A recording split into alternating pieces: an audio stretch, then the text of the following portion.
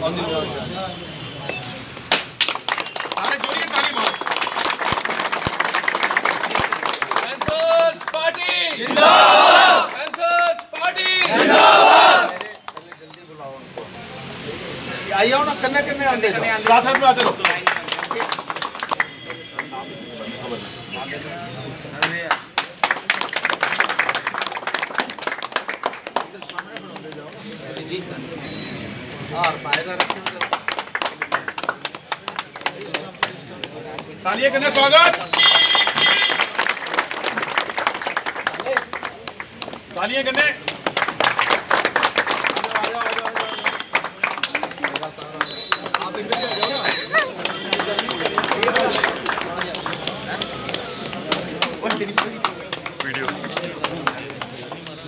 शुरू बोला कि ट्रेनिंग हो कहाँ है आगे? काम कर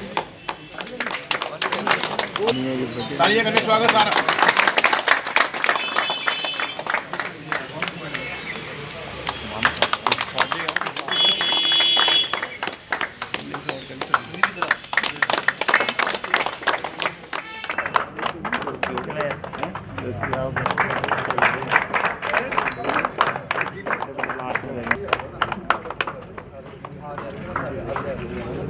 हरदेव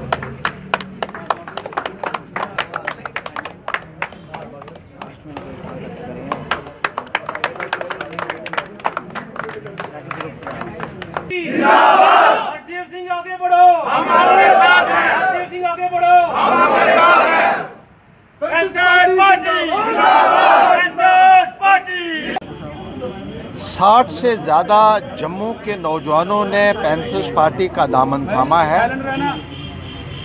पैंथर्स पार्टी में अपना विश्वास दिलाया है और पैंथर्स पार्टी को मज़बूत करने के लिए बीड़ा उठाया है।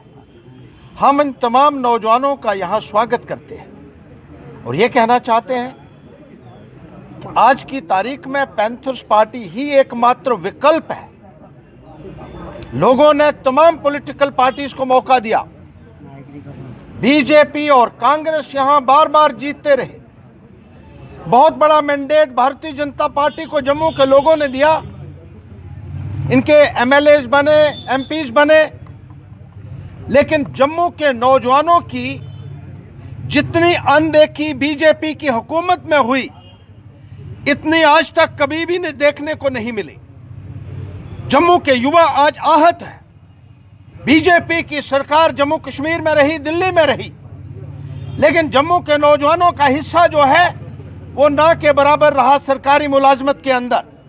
और आज भी जिस तरीके से तानाशाही का एक माहौल जम्मू कश्मीर के अंदर चलाया जा रहा है। इंटरनेट को बंद किया गया है बगैर किसी कारण के।